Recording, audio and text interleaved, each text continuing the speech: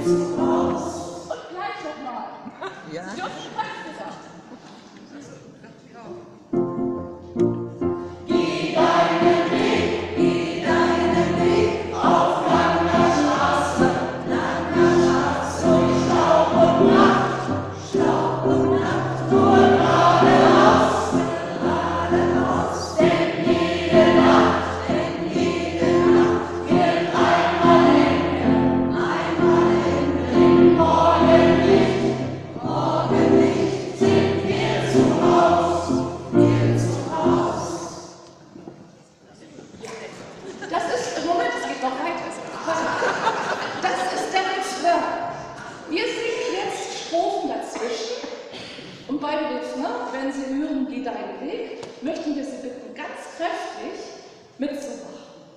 Wir beginnen nochmal mit dem Refrain und machen jetzt einen Durchgang.